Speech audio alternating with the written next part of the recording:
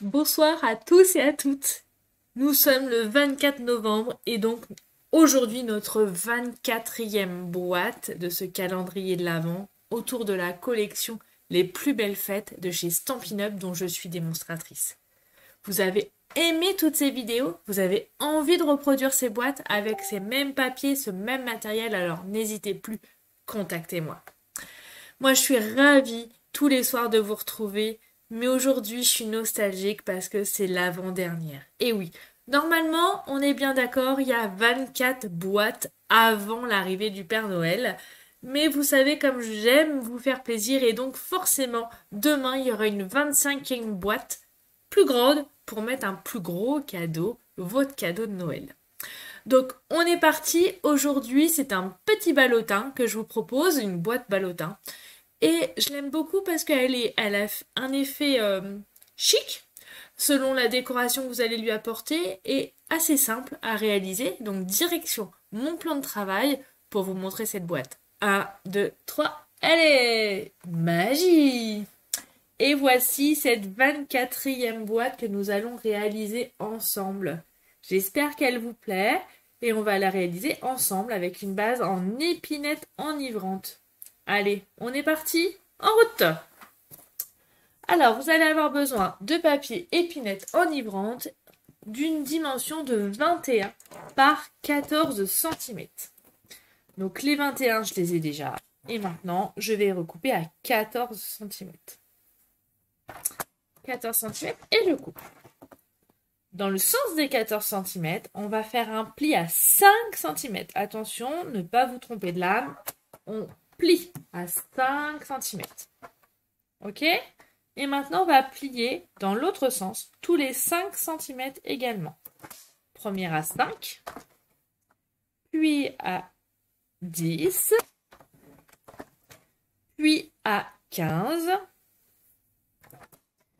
Soit vous ouvrez la réglette de votre massicot pour faire celle de 20, soit tout simplement comme on sait que c'est 21 cm, on va plier à 1 cm sur la petite marge sur la gauche. Voilà, c'est bon?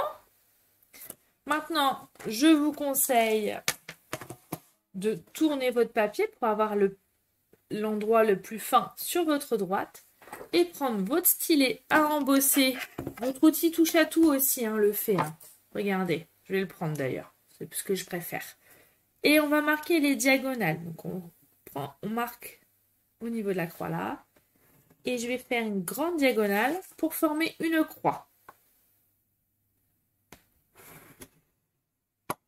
Ok Donc là, vous voyez bien la croix. Maintenant, on va utiliser le milieu de la croix pour faire un trait vertical. Comme ceci.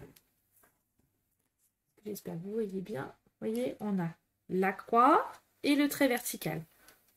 Là, on ne fait rien. Et on refait la même chose ici. Il y a un rectangle où il y a une croix et un rectangle où il n'y a pas de croix. On prend la base et on trace une trait en vertical. Parfait. Ok On prend notre cher ciseau adoré et on va retirer la partie. Donc là, on n'a pas besoin. Hop et on forme un bisou. Là et là. Et je coupe ici.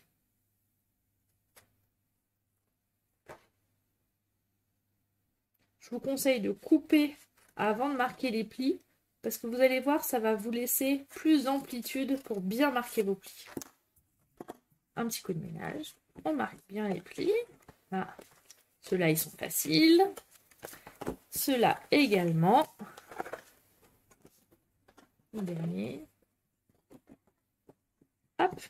Ceux qui sont plus difficiles, c'est les diagonales. Alors, regardez, on va tracer d'abord un premier pli dans ce sens-là. Et comme on a, coupé là, c'est plus facile, on va bien marquer le pli aussi comme ça. Et celui-ci, on va on va aider le papier pour que le pli, le petit pli horizon vertical qu'on a fait, soit vers l'intérieur et ça va y aller tout seul. Si vous avez bien marqué la grande croix, normalement, ça y va tout seul.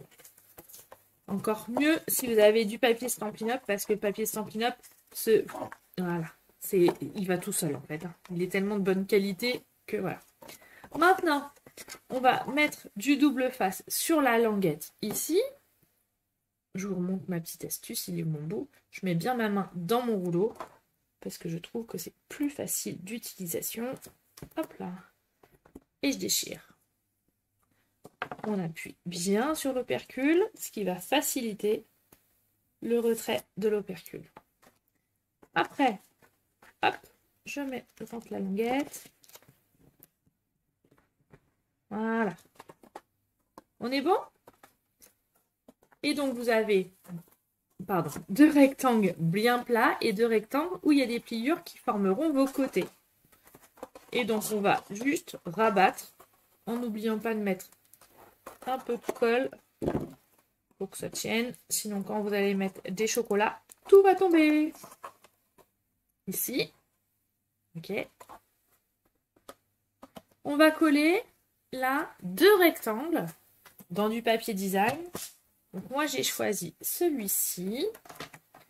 Et donc il va nous falloir 8,6 cm de hauteur sur 4,6 euh, de largeur.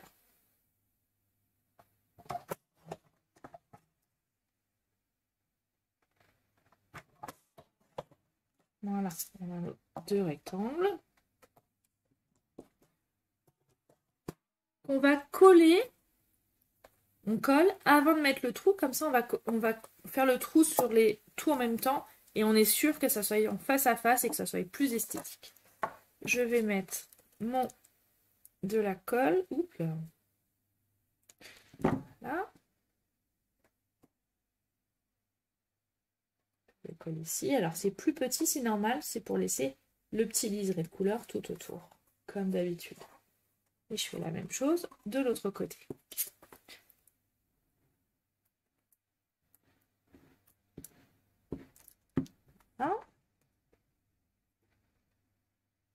En tout cas, je félicite toutes les filles où j'ai déjà vu les créations. Je me régale de les regarder. J'espère ne pas avoir oublié de mettre des petits j'aime à toutes vos photos.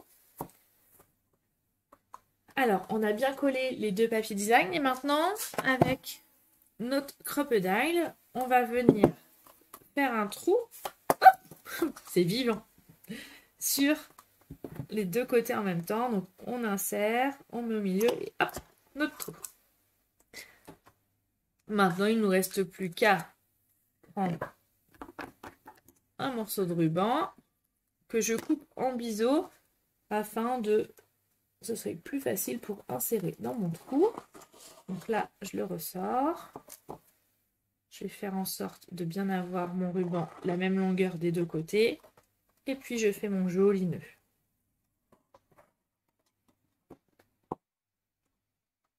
Hop. Hop. Et hop. J'enlève le ruban excédent Et je vais faire mon petit rituel habituel avec ma machine de découpe et mes découpes pour faire ma décoration et mettre mes chiffres, mon chiffre 24. Alors, on est parti. Donc, j'ai besoin du papier euh, doré pour faire mon étoile. J'ai besoin de mon papier épinette enivrante pour faire mon feuillage. Et j'ai besoin d'une chute de papier cerise carmin pour faire mon numéro 24. Donc dans un premier temps, le chiffre 2, puis le chiffre 4. Je remets ma plaque par-dessus. Et attention. Et moi, pendant ce temps-là, je tournais la manivelle. Et vous, pendant ce temps-là, vous bouchez les oreilles. Parce que je chante faux. Ah là là. Il ne faut pas grand-chose pour m'amuser. Hein. Toujours des surprises avec Fanny. Hop là. Donc, j'enlève bien mes découpes en les mettant précieusement de côté pour pas les perdre. Ce serait dommage, on arrive à la fin, mais quand même.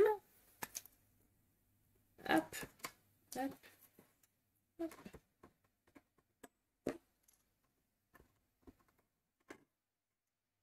Deux.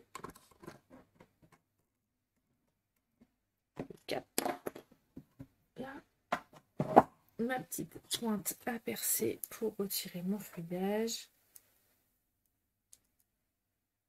Qui est là? Hop là. Parfait.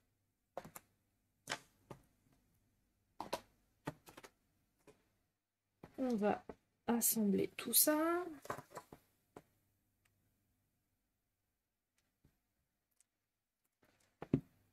Je vais coller en dessous. les chiffres. Attention, le 2 et le 4, c'est des chiffres mouse costaud qui prennent de la place. Si ça dépasse un petit peu, c'est pas très grave.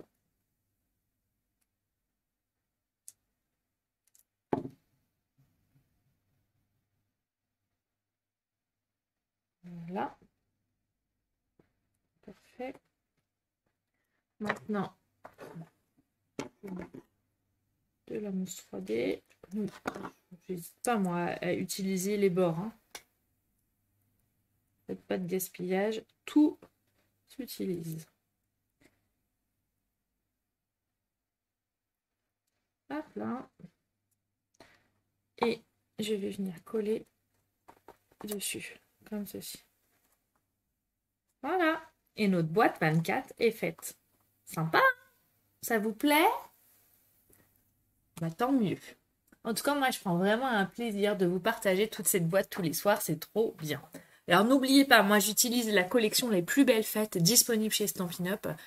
Euh, vous la retrouverez dans votre catalogue annuel Stampin' Up. Si vous n'avez pas encore démonstratrice, si vous avez envie de découvrir les produits Stampin' Up, eh ben je serai ravie d'honorer votre commande. D'ailleurs, vous pouvez retrouver euh, le lien de ma boutique en ligne dans la description. Et puis, si vous avez envie de papoter et qu'on fasse un peu plus ample connaissance, c'est avec plaisir que je répondrai à tous vos messages.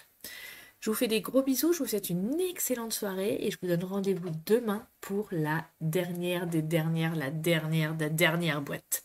Voilà, je vous fais des gros bisous, bonne soirée, passez une bonne nuit, scrappez, c'est pas remboursé par la sécu, mais qu'est-ce que ça fait du bien. Allez, ciao, bye Bisous, bisous. À bientôt